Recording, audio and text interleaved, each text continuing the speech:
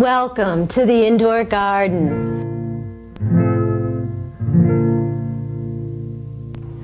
The Aspidistra elatior would be a very good choice for a place like that. It's one of our hardiest and most tolerant of low light plants. And this is it right here.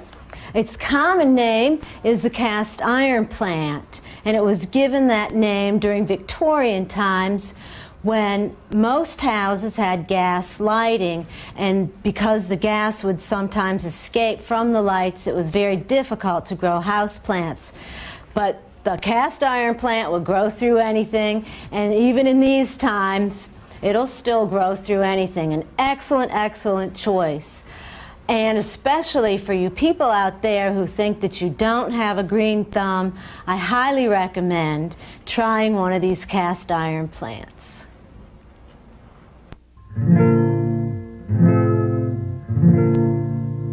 The cast iron plant, which is not a very fussy plant at all, still a little extra attention given to it now and then would be nice. And one thing it likes is to have its leaves dusted.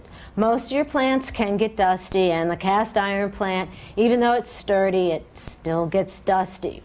So once in a while, take up your feather duster and go ahead and dust off those wide green leaves and it'll breathe better and it'll take in a little more light. And you probably aren't giving it much light anyway, so it's a nice thing to do. And of course, you do want to water this plant.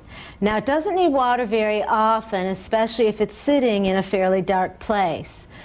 But what you want to do is check the soil from time to time, and when it's dry, about an inch and a half below the soil surface, and check a couple spots, see how it's doing.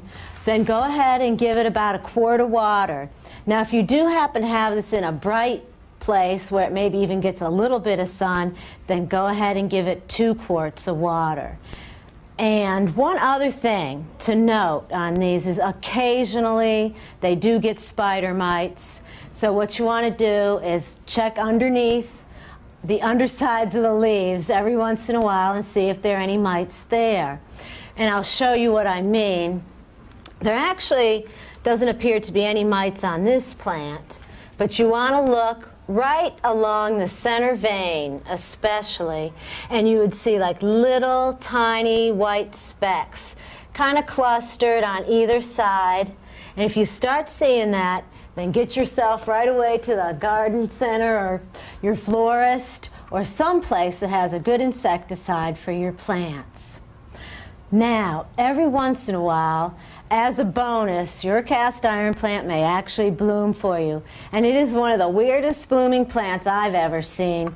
It actually blooms right above its soil. It'll get little purple cup-shaped flowers that appear right above the soil. It's very strange, and it may happen every once in a while, so keep your eyes out for those. And that's about it.